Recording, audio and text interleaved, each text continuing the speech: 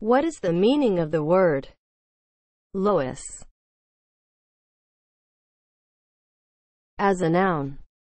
A fine-grained unstratified accumulation of clay and silt deposited by the wind.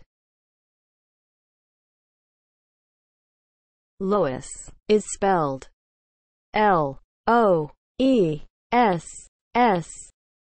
Loess